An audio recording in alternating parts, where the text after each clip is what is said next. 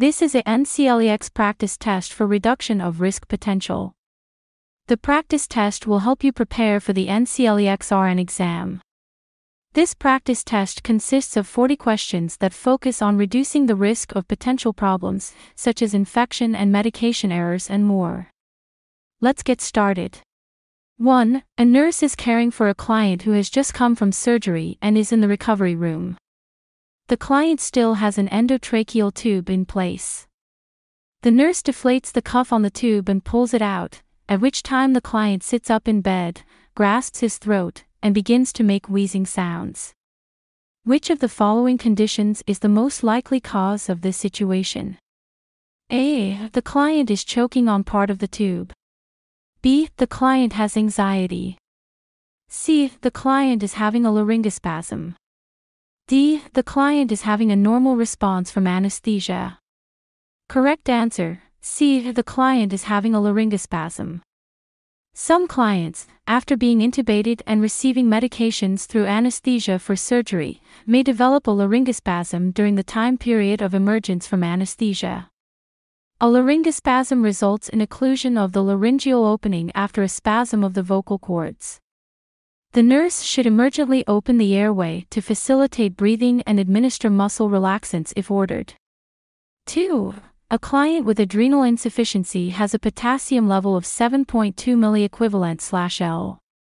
Which of the following signs or symptoms might the client exhibit with this result? A. Peaked T waves on the ECG. B. Muscle spasms. C. Constipation. D. A prominent U wave on the ECG.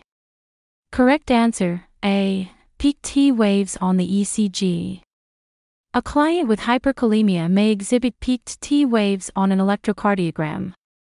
This manifestation is an early sign of high potassium levels, but diagnosis should not be based on this aspect alone. Untreated hyperkalemia can lead to progressively worsening cardiac instability. 3. A nurse is assisting Mrs. K, a client who is undergoing a lumbar puncture. Which of the following elements should the nurse use to instruct Mrs. K about this procedure? A. A lumbar puncture takes a sample of blood from the back, which will be analyzed by the lab. B. The physician will insert a needle at the level of L4, L5 in the spinal cord. C. Mrs. K should lie flat on her back for 24 hours following the procedure. D. The risks of the procedure include nausea, rash, and hypotension. Correct answer B. The physician will insert a needle at the level of L4, L5 in the spinal cord. A lumbar puncture is used to draw cerebrospinal fluid to check for potential infection, hemorrhage, or other conditions that can cause a client's illness. The nurse should instruct the client to lie on her side or to sit leaning over a table with her back rounded. The physician will insert a needle into the back at about the level of the L4, L5 vertebral spines. 4. A nurse is caring for a client who has a right-sided chest tube. The chest tube shows 50 cubic centimeters of serosanguinous fluid in the collection chamber and air bubbles are collecting in the water seal chamber. Which action is most appropriate for the nurse at this time? A. Do nothing, this is a normal response. B. Strip the tubing to remove any clots. C. Place a clamp on the tube near the client's chest. D. Remove the collection chamber and connect the tubing to a new device. Correct answer C. Place a clamp on the tube near the client's chest. The water seal of a chest tube is designed to act as a one way valve. Air bubbles that are present in the water seal indicate the occurrence of a leak somewhere between the client and the chamber. The nurse should briefly clamp the tube near the client's chest to identify the source of the leak. Once the leak is identified, the nurse should unclamp the tubing and notify the physician right away. 5. A nurse is caring for a client with a broken femur who is in a traction splint in bed. All of the following interventions are part of care of this client except A. Palpating the temperature of both feet. B. Evaluating pulses bilaterally. C. Turning the client to a side lying position. D. Relieving heel pressure by placing a pillow under the foot. Correct answer C. Turning the client to a side lying position. A client who has been placed in traction for a fracture of a large bone such as a femur will be unlikely to turn to a side lying position while in bed. A client with this type of injury is at risk of skin breakdown, and the nurse should attempt to reposition and relieve pressure on certain points that are more likely to have diminished circulation. 6. A nurse is educating a client who is preparing to give a stool sample for occult blood. All of the following information is part of teaching for this client except a. Avoid eating red meat for three days before the test. B. Collect the stool from the toilet after having a bowel movement. C. The stool does not need to be kept in a container with preservative. D. A small part of the stool from two areas will be tested using a smear. Correct answer B. Collect the stool from the toilet after having a bowel movement. When checking a stool sample for occult blood, the nurse may need to provide some teaching for the client, particularly if the client collects the stool himself. Part of education in this situation involves teaching the client to avoid red meat, as the blood in the meat may interfere with the test.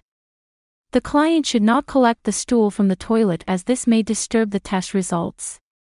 7. Which of the following interventions is necessary before insertion of an arterial line into the radial artery? A. Ensure that the client does not need surgery. B. Assess the client's grip strength. C. Perform an Allen test. D. Check a serum potassium level. Correct answer C. Perform an Allen test. Before a physician inserts an arterial line using the radial artery, the nurse should perform an Allen test to assess the client's circulation.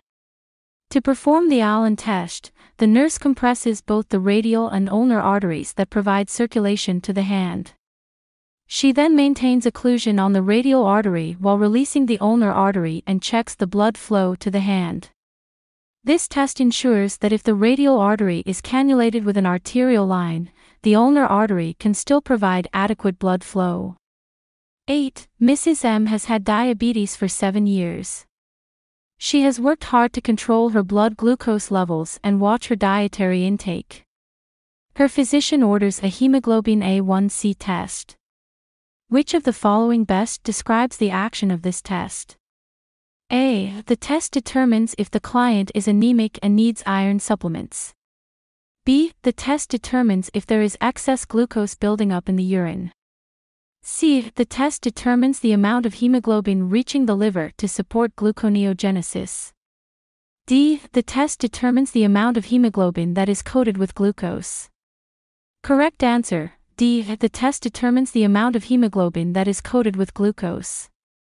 A hemoglobin A1C test, also known as a glycated hemoglobin test, determines the amount of hemoglobin that is coated with glucose. Excess glucose in the bloodstream may cause it to attach to hemoglobin on red blood cells. Because the life of these cells is between 2 and 3 months, the hemoglobin A1C is an accurate measurement of a client's glucose during that time. 9. A nurse is monitoring a client for decreased tissue perfusion and increased risk of skin breakdown. Which measure best improves tissue perfusion in this client? A. Massaging the reddened areas. B. Performing range of motion exercises. C. Administering antithrombolytics as ordered. D. Feeding the client a high carbohydrate diet. Correct answer Performing range of motion exercises.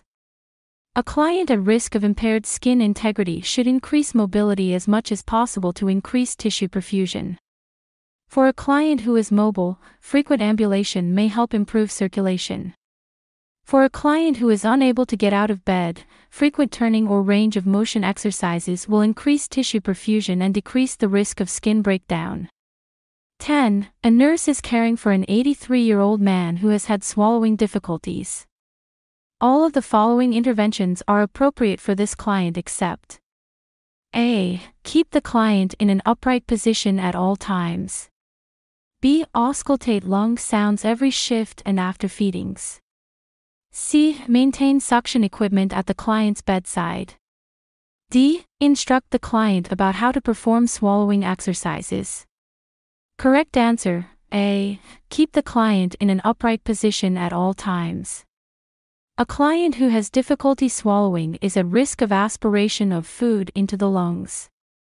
Nursing interventions in this situation include auscultating lung sounds each shift and after meals to assess for changes in breathing patterns, helping the client with swallowing exercises through occupational therapy, and maintaining suctioning equipment at the bedside in case of difficulties. 11. A nurse is preparing to insert an indwelling catheter in a female client. Which of the following positions of the client is most appropriate for this procedure? A. Lithotomy position. B. Prone position. C. Dorsal recumbent position. D. High Fowler's position. Correct answer C. Dorsal recumbent position. When preparing to insert an indwelling catheter for a female client, the nurse may have success placing the client in the dorsal recumbent position. In this position, the client lies supine with the knees bent. The nurse may ask the client to rotate the legs outward, relaxing the thighs. A client who cannot lie supine may also be comfortable in the Sims position. 12. A client is preparing to undergo a cystoscopy for stones. Which of the following statements indicates that the client understands the procedure? A. I better drink a lot of fluid now because I won't be able to after the test. B. I will probably see a little blood when I urinate. C. I will be able to go home after three days in the hospital. D. I won't need any pain medicine, this probably will not hurt. Correct answer B. I will probably see a little blood when I urinate. A cystoscopy is a procedure that involves inserting a scope into a client's bladder to inspect the structures or to remove objects such as stones. A cystoscopy is typically done under local or general anesthesia, and the client may experience a small amount of hematuria or pink colored urine following the procedure. 13. Which of the following conditions may warrant a serum creatinine level? A. Rhabdomyolysis. B. Digitalis toxicity. C. Glomerulonephritis. D. All of the above. Correct answer D. All of the above. Creatinine is a byproduct of the breakdown of creatine, which is created by the muscles. The kidneys excrete creatinine. This test may be performed for a client who has had an injury to the muscles that may produce a significant amount of creatinine or a client who has a condition that can impair renal function. 14. Which nursing intervention is most appropriate to maintain the patency of a client's nasogastric tube? A. Maintain constant connection to low intermittent suction. B. Irrigate the tube as per physician order. C. Suction the mouth and nose every shift. D. Perform a daily fecal occult blood sample. Correct answer B. Irrigate the tube as per physician order. A client with a nasogastric tube may be at increased risk of the tube kinking or clotting off, rendering it unusable and putting the client at risk of abdominal distension or vomiting. The nurse can assess for tube patency by irrigating the tube with water or fluid as ordered by the physician on a routine basis or by facility policy. 15. A nurse is caring for a client who is having blood tests and who has an elevated lymphocyte level. Based on knowledge of cellular components, the nurse knows that these cells A contain histamine and provide protection during allergic reactions. B. Are involved in phagocytosis. C. Provide protection and immunity against foreign substances. D. Carry hemoglobin and oxygen to body tissues. Correct answer C. Provide protection and immunity against foreign substances. Lymphocytes are types of white blood cells that work to support the body's immune system. These cells produce substances that protect the body against infection and foreign substances that can make a client ill. Two types of lymphocytes are T cells, produced in the thymus, and B cells, produced in the lymph tissue. 16. Mr. Y had surgery two days ago and is recovering on the surgical unit of the hospital. Just before lunch, he develops chest pain and difficulties with breathing. His respiratory rate is 32 minute, his temperature is 100.8, and he has rales on auscultation. Which of the following nursing interventions is most appropriate in this situation? A. Place the client in the Trendelenburg position. B. Contact the physician for an order or antibiotics. C. Administer oxygen therapy. D. Decrease his FOR rate. Correct answer C. Administer oxygen therapy. Chest pain, dyspnea, tachypnea, mild fever, and rales or crackles on auscultation in a client who had surgery two days ago may be indicative of a pulmonary embolism. The nurse should administer oxygen to address his breathing and assist him to a comfortable position to facilitate better oxygenation before contacting the physician. 17. A client returns from surgery after having a colon resection. The nurse is performing his assessment and notes the wound edges have separated. This condition is called A. Evisceration B. Hematoma C. Dehiscence D. Granulation Correct answer C. Dehiscence Wound dehiscence occurs when the edges of a wound pull apart. The condition may occur following a surgical procedure if the sutures were deficient. Wound dehiscence may also occur following a wound infection or in cases where a client significantly stretches or overuses the associated tissues. 18. Mobility is an important human function. The hazards of immobility lead to many physical problems and emotional problems. Immobility can lead to detrimental cardiac, muscular, respiratory, skeletal, urinary, gastrointestinal, skin, and emotional changes. Which of the following is an example of a skeletal hazard of immobility? A. Contractures. B. Constipation. C. Calcium loss. D. Catabolism. Correct answer C. Calcium loss. All of the above choices are hazards of immobility. However, only the calcium loss from the bones is a skeletal system impairment that results from immobility. 19. Which is a physical, integumentary risk among the elderly population? A. Skin tears. B. Thickened skin. C. Thinning toenails. D. Less nasal hair. Correct answer A. Skin tears.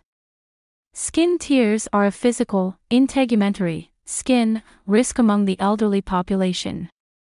The skin thins and becomes more fragile. Toenails thicken and nasal hair becomes thicker. 20. You are turning your patient in bed and you see that this confused and lethargic patient had loose car keys and lipstick in the bed and had been lying on them. What is this person at risk for because of all three of these factors the confusion, lethargy, and items in the bed? A. Falls. B. Skin breakdown. C. Apnea. D. Lack of mobility. Correct answer B. Skin breakdown. This patient is at great risk for skin breakdown because this patient has three risk factors associated with skin breakdown. These three risk factors are confusion, lethargy, and the presence of items in the bed. This patient is at risk for falls because of the confusion. The person is at risk for a lack of mobility because of the confusion and lethargy, but only skin breakdown is associated with all three of these risk factors. 21. One of the complications of complete bed rest and immobility is which of the following? A. Plantar flexion. B. Dorsal flexion. C. Extension contractures. D. Adduction contractures. Correct answer A. Plantar flexion. Plantar flexion, or foot drop, is a complication of complete bed rest and immobility. Dorsal flexion is when you move your foot upwards. Contractures can also occur as a complication of complete bed rest and immobility. However, these contractions are flexion, not extension or adduction contractures. 22. Plantar flexion can be prevented with underscore A. Foot soaks. B. Foot boards. C. Toenail care. D. Proper shoes. Correct answer B. Footboards. Plantar flexion, or foot drop, can be prevented with foot boards, special splints, and range of motion exercises.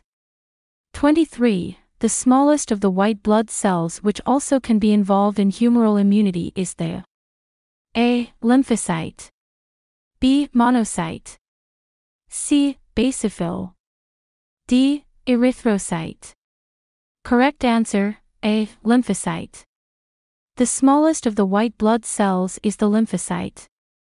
Monocytes are the largest white blood cells. 24. Mrs. J is in the adult ICU on a ventilator. The nurse caring for her recognizes that her endotracheal tube needs suctioning. Based on the nurse's understanding of this procedure, what level of pressure should the nurse apply while suctioning? 70 to 80 millimeters of mercury. B. 100 to 120 millimeters of mercury. C. 150 to 170 millimeters of mercury. D. 200 millimeters of mercury. Correct answer B. 100 to 120 millimeters of mercury. When suctioning the endotracheal tube of an adult client, the nurse should set the suction apparatus at a level no higher than 150 millimeters of mercury, with a preferable level between 100 and 120 millimeters of mercury. Suction pressure that is too high can contribute to the client's hypoxia. Alternatively, too low of suction pressure may not clear adequate amounts of secretions. 25. The nurse caring for Mrs. J is prepared to suction her endotracheal tube. Which of the following interventions will reduce hypoxia during this procedure? A. Hyperoxygenate Mrs. J for up to 60 seconds prior to starting. B. Administer 15 cubic centimeters of sterile fluid into the tube prior to suctioning. C. Suction for no longer than 30 seconds at a time. D. Wait 30 seconds after suctioning before attempting again. Correct answer A. Hyperoxygenate Mrs. J for up to 60 seconds prior to starting.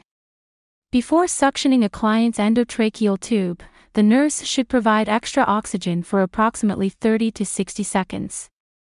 Hyperoxygenating a client before suctioning increases oxygen delivery to the tissues and reduces hypoxia that may develop during the procedure.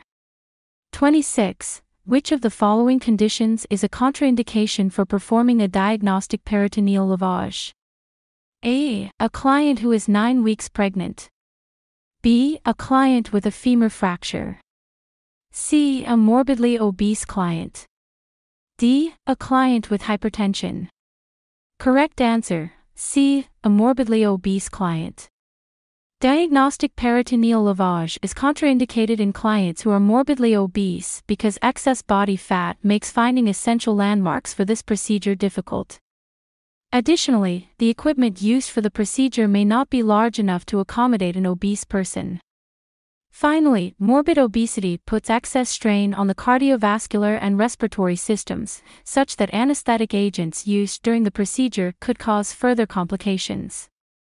27. A nurse is preparing to change a client's dressing for a burn wound on his foot. Which of the following interventions is appropriate for this process? F. Wash the wound with cleanser, rinse, and pat dry. B. Bind the wound tightly, secure with tape, and elevate the foot. C. Contact the physician after the dressing change is complete. D. Provide analgesics for the client after the procedure. Correct answer Wash the wound with cleanser, rinse, and pat dry. The nurse must carefully assess and care for a burn wound during dressing changes to avoid infection, minimize pain, and promote healing to the site. Once the nurse has removed the old dressing from the burn wound in this situation, she should wash it gently with an approved cleanser, rinse the area, and pat dry. 28. A client in end stage renal disease is receiving peritoneal dialysis at home. The nurse must educate the client about potential complications associated with this procedure. All of the following are complications associated with peritoneal dialysis except A. Hypotriglyceridemia B. Abdominal hernia C. Anorexia D. Peritonitis Correct answer A. Hypotriglyceridemia The client undergoing peritoneal dialysis is at risk of developing abdominal complications due to the placement of the catheter. Peritonitis occurs as an infection and inflammation of the peritoneal cavity, and the nurse should educate the client regarding signs and symptoms of this condition. The client may also develop an abdominal hernia, anorexia, low back pain, or abdominal bleeding. 29. A nurse is assisting Mr. L, a client who has a new colostomy after a bowel resection. The nurse is teaching this client how to care for his colostomy bag. Which of the following statements from Mr. L indicates the need for more education? A. I can clean the skin around the ostomy site with soap and water when I change the bag. B. I should irrigate the stoma regularly to avoid buildup of gas and odor. C. I need to wait half an hour after I irrigate to replace the colostomy bag. D. I should change the bag when it is one third to one fourth full. Correct answer C. I need to wait half an hour after I irrigate to replace the colostomy bag. A client with a colostomy needs education about care of the stoma, care and changing of the bag, and irrigation of the colostomy site. The nurse should teach the client the basics of these actions as well as measures to prevent infection or other complications. The client may irrigate the ostomy and reapply the bag as soon as the skin is dry. 30. Which of the following clients is most appropriate for receiving telemetry? A. A client with syncope potentially related to cardiac dysrhythmia. B. A client with unstable angina. C. A client with sinus rhythm and PVCs. D. A client who had a myocardial infarction six hours ago. Correct answer A. A client with syncope potentially related to cardiac dysrhythmia. Telemetry is used to monitor the cardiac rhythms of clients with potentially unstable conditions or those rhythms that affect activities. Telemetry is not indicated for acutely unstable clients, such as those who have recently had heart attacks, or those with chest pain related to cardiac activity. 31. Mr. B is recovering from a surgical procedure that was performed four days ago. The nurse's assessment finds this client coughing up rust colored sputum, his respiratory rate is 28 minute with expiratory grunting, and his lung sounds have coarse crackles on auscultation. Which of the following conditions is the most likely cause of these symptoms? A. Tuberculosis. B. Pulmonary edema. C. Pneumonia. D. Histoplasmosis. Correct answer C. Pneumonia. A client who is experiencing dyspnea, productive cough, and diminished or coarse breath sounds following surgery may have developed pneumonia. This condition occurs as inflammation or infection of the lung tissue with certain organisms, particularly when excess fluid develops and is trapped in the tissues. 32. Based on Mr. B's assessment, what is the first action of the nurse after assessing his condition? A. Immediately place the client in a negative pressure room. B. Set the client up to receive a bronchoscopy. C. Contact the physician for antifungal medications. D. Administer oxygen and assist the client to sit in the semi-Fowler's position. Correct answer D. Administer oxygen and assist the client to sit in the semi-Fowler's position. The initial action of the nurse caring for a client with suspected pneumonia is to administer oxygen and assist him to sit up in the semi-Fowler's position. Supplemental oxygen will assist Mr. B with oxygen perfusion to the tissues. Sitting up better facilitates breathing and removal of secretions. 33. A nurse is instructing a client in the use of his incentive spirometer. Which of the following statements from the nurse indicates correct teaching about using this device? A. Lie back in a reclining position while doing this. B. Take rapid, quick breaths to reach your goal. C. Set a goal of using the spirometer at least three times per day. D. Practice coughing after taking 10 breaths. Correct answer D. Practice coughing after taking 10 breaths. An incentive spirometer is a device used to open the alveoli of the lungs. It may be used with clients to reduce the incidence of lung atelectasis. The nurse should instruct the client to sit up and take slow deep breaths to reach his set goal. Following use, the nurse should encourage the client to cough in case using the spirometer has loosened any secretions. 34. Which of the following interventions should the nurse use when working with a Jackson Pratt drain? A. Strip the tubing to remove clots by milking the tubing back toward the client. B. Empty the drain when the amount of fluid reaches 25 cubic centimeters. C. Strip the tubing to remove clots by milking the tubing away from the client. D. Maintain the level of the drain above the client's incision. Correct answer C. Strip the tubing to remove clots by milking the tubing away from the client. A Jackson Pratt drain is a type of active wound drain that may be placed following a surgical procedure. This type of drain looks like a grenade and when collapsed, it actively draws excess blood and fluid out of the wound.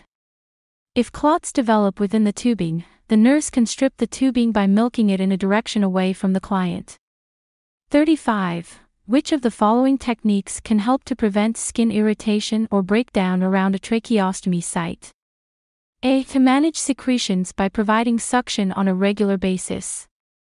B. Cleanse the site daily with a mixture of povidone iodine and water. C. Avoid using tube ties to secure the tube. D. None of the above. Correct answer A. Manage secretions by providing suction on a regular basis. Excess secretions from the tracheostomy tube can collect near the stomal opening and cause skin breakdown. Management of secretions through regular suctioning will keep the area clean and dry, minimizing skin irritation. 36. A nurse is assisting with a physical exam for a client who presents with possible meningitis. The nurse bends the client's leg at the hip to a 90 degree angle. When she extends the leg at the knee, the client experiences severe pain. Which type of test is this nurse performing? A. Brudzinski's sign. B. Romberg sign. C. Kernig's sign. D. Babinski's sign.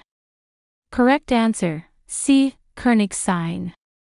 A client may be tested for meningitis by testing for a positive Kernig sign during the physical exam. The Kernig sign is performed by bending the client's leg at a 90 degree angle at the hip and then attempting to extend the leg at the knee. If the client cannot extend the leg due to pain, this is considered a positive sign of irritation of the meningeal membranes. 37. Which of the following types of dressing changes works as a form of wound debridement? A. Dry dressing. B. Transparent dressing. C. Composite dressing. D. Wet to dry dressing. Correct answer D. Wet to dry dressing. A wet to dry dressing works as a method of wound debridement, collecting drainage and debris from the wound after application. The dressing change involves applying sterile soaked gauze to the wound and covering it. As the dressing dries, it sticks to the wound and pulls excess debris away when it is removed. 38. A nurse is caring for a client who was recently diagnosed with breast cancer. The oncologist uses the TNM staging system to classify this case as T2, N2, M0. The nurse understands that TNM stands for a. Tumor, necrosis, metastasis. B. Tumor, node involvement, mastectomy. C. Tumor, node involvement, metastasis. D. Therapy, necrosis, metastasis. Correct answer C. Tumor, node involvement, metastasis. The TNM staging system is a classification system for determining the size and extent of cancerous tissue. The TNM system helps providers to identify the most accurate forms of treatment. The T stands for tumor, then N stands for node involvement, and the M stands for metastasis. 39. Mr. V is receiving treatment for a spinal cord injury after falling off of his deck at home. He has undergone spinal surgery and has been placed in a halo traction device. Which of the following nursing interventions are most appropriate for a client with a spinal cord injury? A. Turn the client and use incentive spirometry each shift. B. Administer stool softeners as ordered. C. Turn the head slowly to avoid further damage to the spine. D. Change NPO status. Correct answer B. Administer stool softeners as ordered. A client recovering from a spinal injury may be at higher risk of constipation due to decreased mobility. The nurse should assist with preventing constipation and possible fecal impaction by administering stool softeners or rectal suppositories as ordered. 40. Based on assessment and testing, the physician has diagnosed Mr. V with a cord transection at the level of C8 of the spine. Which of the following types of paralysis is Mr. V most likely to suffer? A. Hemiplegia. B. Quadriplegia. C. Paraplegia. D. None.